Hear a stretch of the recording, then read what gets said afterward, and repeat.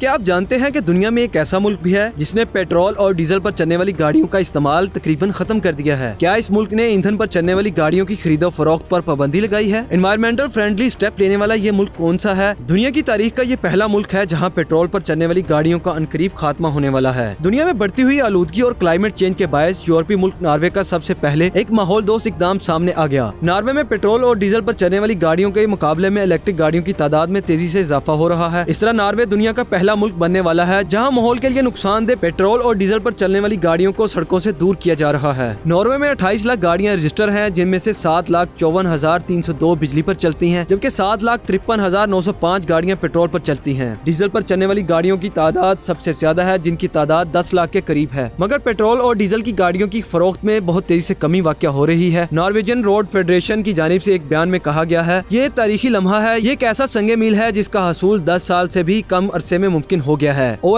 ने एक बयान में कहा है की इलेक्ट्रिक गाड़ियों की फरोख्त में बहुत तेज़ी ऐसी इजाफा हुआ है और नॉर्वे दुनिया का पहला मुल्क बनने वाला है, जहाँ इलेक्ट्रिक गाड़ियों का इस्तेमाल सबसे ज़्यादा होगा। लेकिन दिलचस्प बात यह है की नॉर्वे खाम तेल और गैस निकालने वाला एक बड़ा मुल्क है, मगर वहाँ ऐसी गाड़ियों की खरीदो फरोख्त को हदफ बनाया गया है, जो नुकसानदेह गैसों का अखराज नहीं करती। अगस्त दो हज़ार चौबीस में नॉर्वे में रजिस्टर होने वाली चौरानवे इशारिया तीन फ़ीसद गाड़ियाँ इलेक्ट्रिक थी। नॉर्वेजन हुकाम की जानब ऐसी इलेक्ट्रिक गाड़ियों के हवाले ऐसी टैक्सों में बहुत ज़्यादा टैक्स छूट दी जा रही है। आपको नॉर्वे की हुकूमत का यह माहौल दो इकदाम कैसा लगा? हमें कमेंट सेक्शन में ज़रूर बताएँ और इस वीडियो को ज़्यादा से ज़्यादा शेयर भी करें।